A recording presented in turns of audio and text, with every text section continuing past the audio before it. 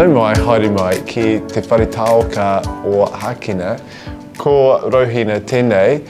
Welcome to the Hocken Library, and this is Rauhina.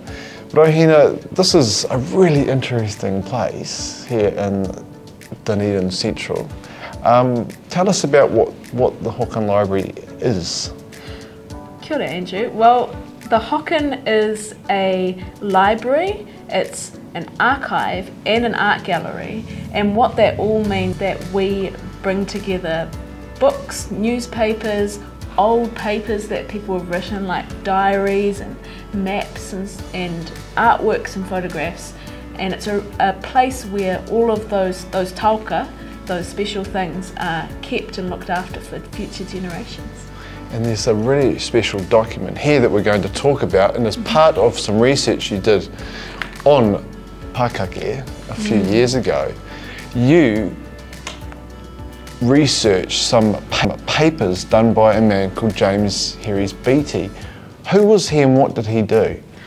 Well, James Herries Beattie, he was known as Herries, that was his middle name. Um, he was born in Gore in 1881, uh, and he, his parents were Scottish. And from a really young age, eight years old, he was recording stuff, keeping diaries and recording family history and history of the area. But what we're looking at now is a thing that he worked on in around 1920, uh, when he, where he went and collected all these stories and kōrero um, and information from Ngāi Tahu people around all of Te Waipounamu uh, about names, place names, uh, stories, all sorts of things. And he listened to people and then wrote down what they had to share with him. And these are his papers right here, which have kind of been made into a book. But in these papers was information about the sea lion. Yeah, I, I just I loved it when I found this. So if you think of of Herries Beattie, he was he was around when sea lions weren't really seen on the coastline, the mainland coastline at least. But um, the people who talked to him, they were able to give names and give behaviours of of kekeno, which are fur seals, of pakake, uh, and he talks about these different names, as well as um, the rapuka, which was the sea leopard, or what we know now as the leopard seal. And it's great because he, he gives descriptions, he writes down the descriptions that were given to him about their behaviours, um, which is amazing that now we're seeing them coming back. We can match up those behaviours with what's written down from 100 years ago. So this Mātauraka uh, that has been recorded, like you say, is, is fascinating because it's stories about an animal that really wasn't on the mainland. How is this information helpful?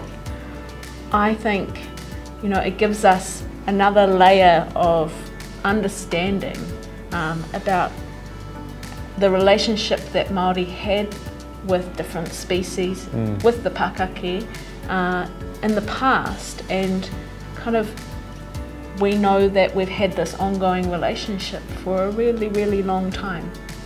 And that must be helpful going forward when we, as we develop a relationship with this species again, as it grows in numbers. And there's some really interesting, like you say, pūrako stories and whakatoki. And I like this one that you were talking about before about Te wera. Te Wera. Oh yeah, so this is cool.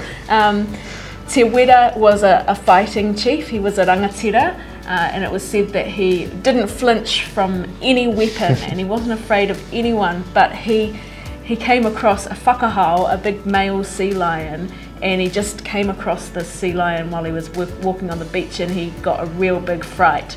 Um, so there's a whakatauaki about him uh, that says. Uh, ko te hoa kakari a te wera, ko te whakahau, the, the enemy or the, the fighting, um, fighting friend of te wera was the whakahau. I think that's a great story. He wasn't familiar with sea lions, he wasn't familiar with their behaviour, and so he was afraid of them, right?